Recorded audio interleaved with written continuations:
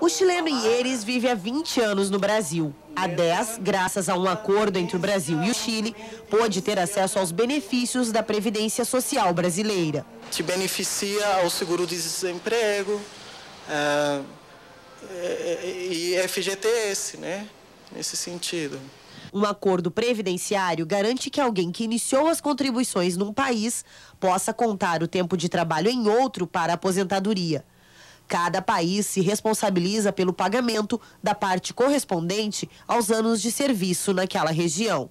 O Brasil já possui acordos previdenciários com sete nações, além do Mercosul e dos países ibero-americanos.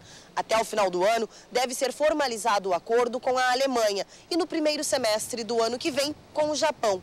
Só nesses dois países vivem mais de 350 mil brasileiros.